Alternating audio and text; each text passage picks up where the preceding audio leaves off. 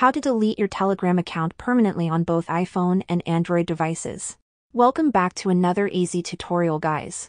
Today, we'll show you exactly how to permanently delete your Telegram account. Whether you're looking to switch platforms or simply want to remove your presence, we've got you covered.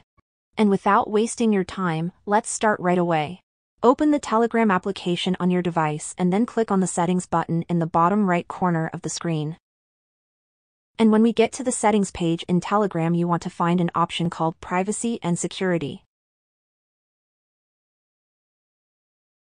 Now scroll down until you can see the Automatically Delete My Account section.